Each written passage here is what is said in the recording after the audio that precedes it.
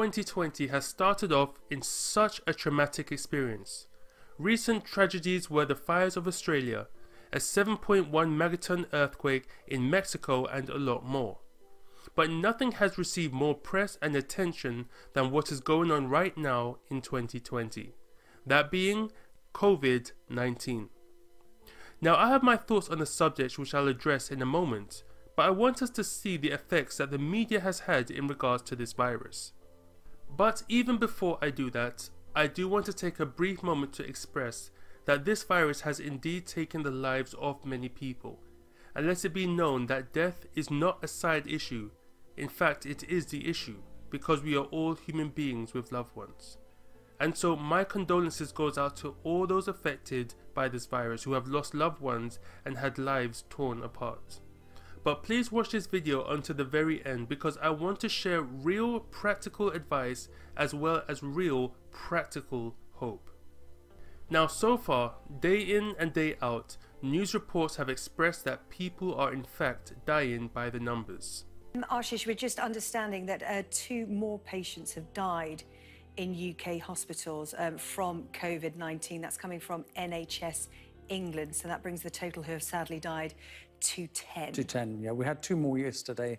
South Korea has reported a record daily surge in new coronavirus cases, taking the total to more than 3,000. 17 people have died.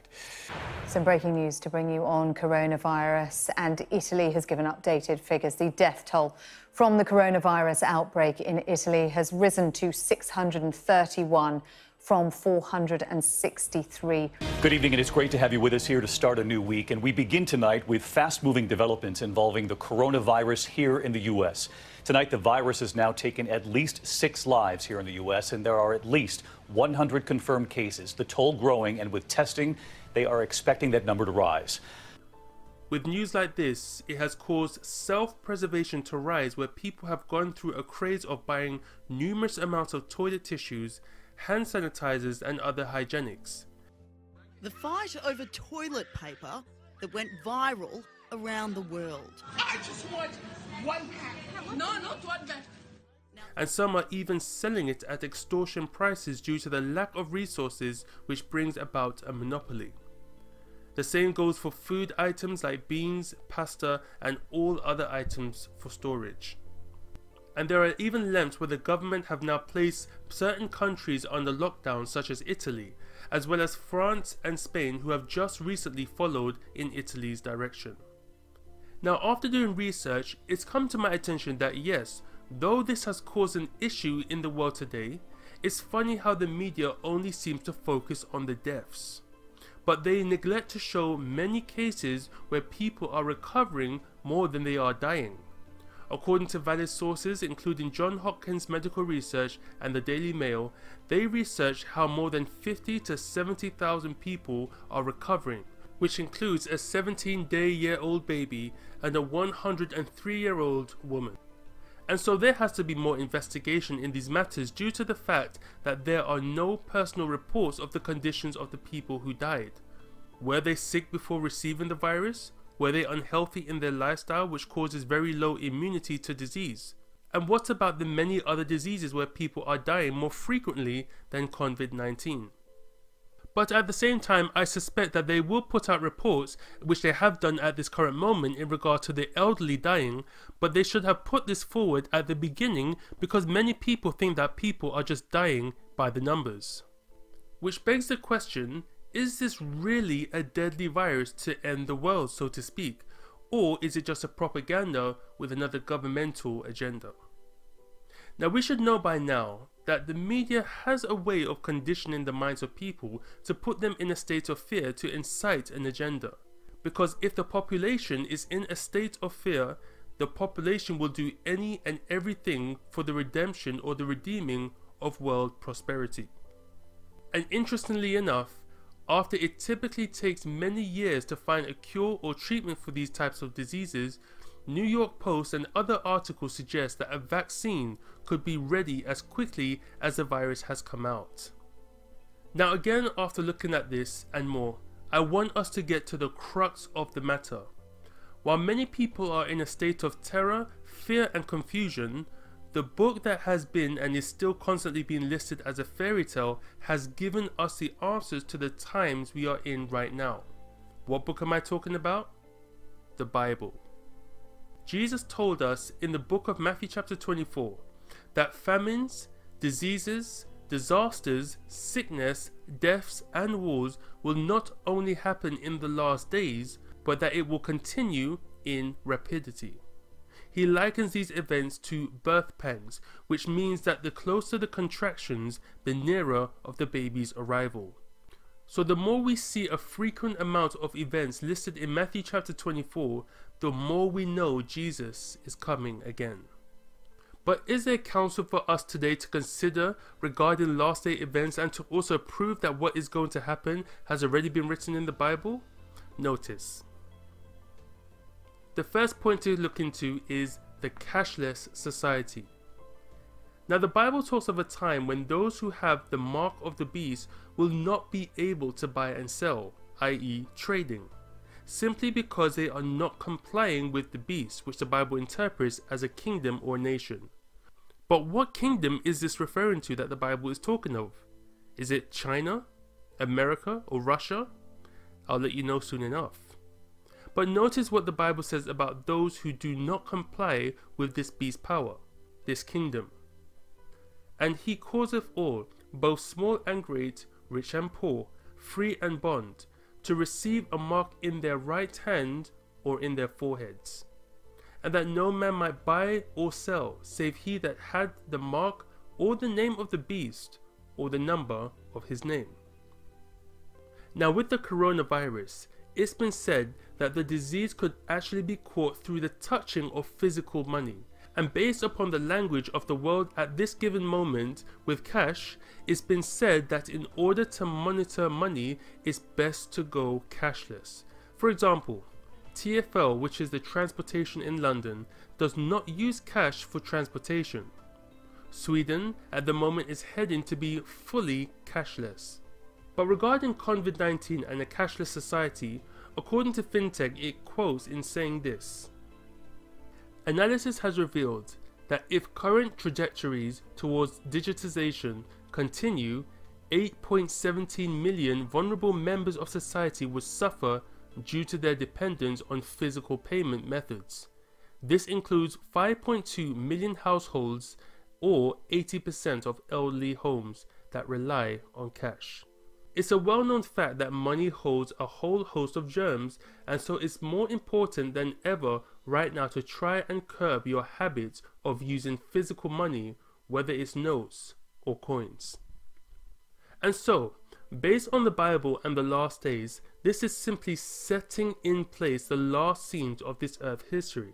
With all the movements to combat climate change, injustice, and all the above, though this virus may not be a product of the end times per se, it is surely setting in place the mindset of the masses to do any and everything they can in order to maintain worldly prosperity, even to the point of getting rid of people who are posing a threat to this society. And he had power to give life unto the image of the beast, that the image of the beast should both speak and cause that as many as would not worship the image of the beast should be killed. And so, as Jesus has warned us of these events, such as disasters, famine, sickness, wars, and so on, what are we experiencing right now? All these are the beginning of sorrows. The second point to look into is the murder of the righteous. Now, I want us to take a lesson as to what is going on with COVID 19. According to the self preservation of people today, it seems to be more every man for himself. I must take care of mine. This is the same mindset that can cause someone to steal from another in order to survive, or even go as far as kill someone to ensure their own personal gain. Now, Based upon the rush of things, I cannot help but bring to mind what I read in the book The Great Controversy, which highlights the history of the Dark Ages and the events leading to the second coming of Jesus Christ in great detail. Notice what it says here in regards to what we are seeing manifested right now. Talking of Satan, it says, while appearing to the children of men as a great physician who can heal all their maladies, he will bring disease and disaster until populous cities are reduced to ruin and desolation. Even now, he is at work. In accidents and calamities by sea and by land, in great conflagrations, in fierce tornadoes and terrific hailstorms, in tempests, floods, cyclones, tidal waves, and earthquakes, in every place and in a thousand forms, Satan is exercising his power. He sweeps away the ripening harvest, and famine and distress follow. He imparts to the air a deadly taint, and thousands perish by the pestilence. These visitations are to become more and more frequent and disastrous. Destruction will be upon both man and beast. The earth mourneth and fadeth away, the haughty people do languish. The earth is also defiled under the inhabitants thereof, because they have transgressed or broken the laws, changed the ordinances, broken the everlasting covenant. And then it says, And then the great deceiver, which is Satan, will persuade men that those who serve God are causing these evils. The class that have provoked the displeasure of heaven will charge all their troubles upon those whose obedience to God's commandments is a perpetual reproof to transgressors.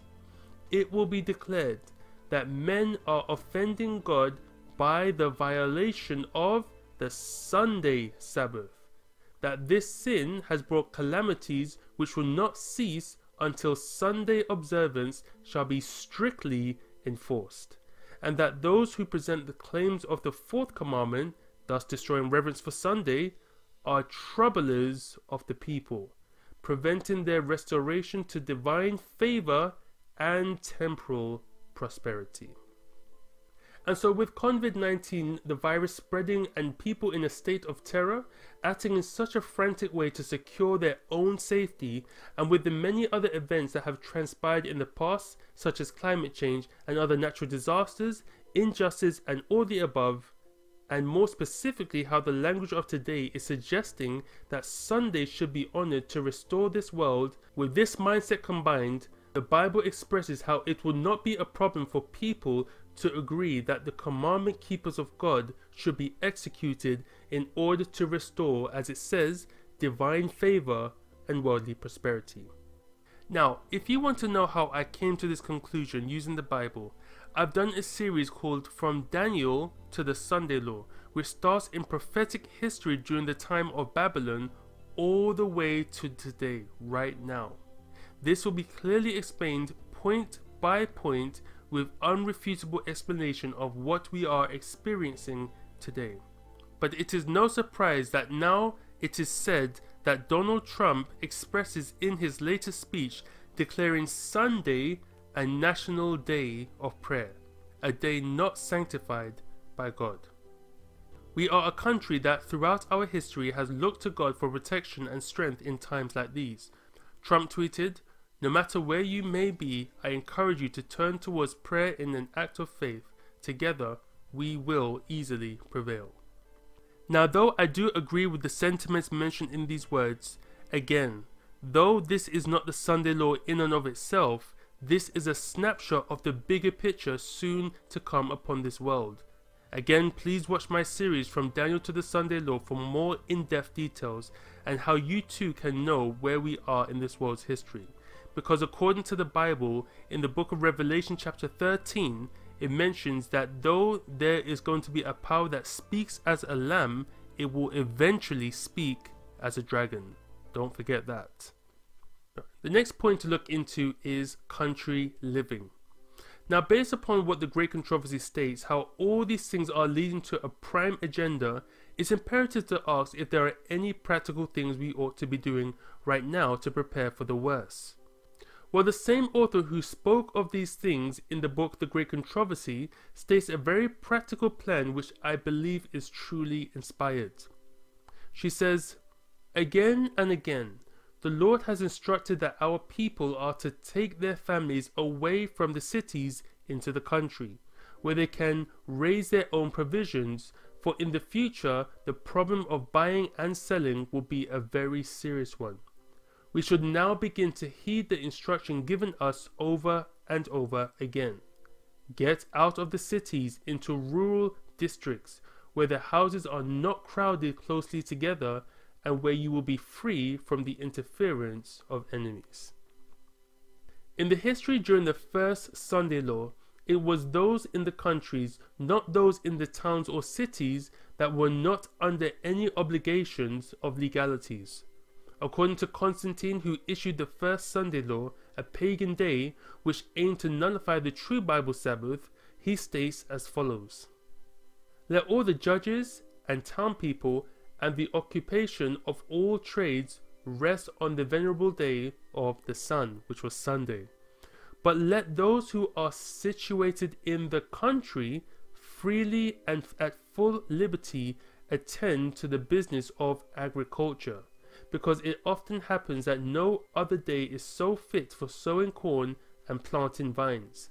Lest the critical moment being let slip, men should lose the commodities granted by heaven. And so, in God's wisdom, He admonishes people to be in a position where you can grow your own food, which in doing so is raising your own provisions. For more information about country living, please click on the links we have below. Now, the last point I want to look into is what I call the laws of health. The Bible gives us a promise, a precious promise, which, though given to Israel, is surely for us today in principle. God says in the book of Exodus, chapter 15, verse 26, and said, If thou wilt diligently hearken to the voice of the Lord thy God, and wilt do that which is right in his sight, and will give ear to his commandments, and keep all of his statutes, I will not put none of these diseases upon thee, which I have brought upon the Egyptians. For I am the Lord that healeth thee. The reason why we are in a world full of sickness and disease, the Bible states, is because of sin. Sin is breaking God's law, and in doing so, sin is invited. But if we do what God says, God promises that His faithful people will be preserved. And so, this is an imperative time of trusting in God as you obey him. The same way he preserved the Israelites during the plagues in Egypt, where they received sores and other diseases, God has promised he will take care of you if you obey him. Now, one of those commandments issued to us are his laws of health, which true science can testify. God's law says, Thou shalt not kill, meaning that if you do things to kill your body, you are violating this commandment. But God has set out some things so that we be not in confusion. In the beginning, before sin, God set out the diet plan for mankind, which were the vegetation of this world fruits, nuts, grains, and vegetables. He also put them in an environment where they were in a garden, that being in nature. And God said, Behold, I have given you every herb bearing seed which is upon the face of all the earth, and every tree in the which is the fruit of a tree yielding seed. To you it shall be for meat or for food. And to every beast of the earth, and to every fowl of the air, and to everything that creepeth upon the earth, wherein there is life, I have given every green herb for food or for meat. And it was so. Now, based upon science, according to the recent documentary Game Changer, it showed how athletes went from meat to a plant based diet, and their performance was drastically improved. Simply because the blood in our bodies carries the nutrients in our bodies which meat can often slow down. Figures like Arnold Schwarzenegger, who had a huge meat diet, turned to a plant based diet. We also have the strongest bodybuilder who is a plant-based eater who when was asked how he became as strong as an ox, he replied in saying, have you ever seen an ox eat meat? And so the Bible has enough resources to help our immunity to keep fit and strong and to fight off any diseases in the process. Which shows that God knew exactly what he was doing when he wanted man to be in nature and especially have the natural plant based diet. Now, for more information, the same author who wrote the book The Great Controversy and who wrote the book Country Living has a book called Ministry of Healing and Counsels on Diets and Foods. These books will give you ample understanding on how to combat this virus and many other sicknesses with what's known as the laws of health. Now, just a breakdown of some of these laws of health, we have the following Water, which purifies the blood, hydrates our bodies, and brings revitalization. Sunlight, which is a pure source of vitamin D and removes stress and depression and thus brings about good feelings in our hormones. Exercise, which strengthens the body, clears out impurities, and refreshes our circulation. Nutrition, which gives the body truly what it needs for it to function as it should. Sleep, which recovers the body through the process of melatonin. Pure air, which gives the body health by sending oxygen to the blood and thus keeps the body in a pure condition. Personal hygiene, which keeps us away from bacteria and all other forms of disease such as COVID 19.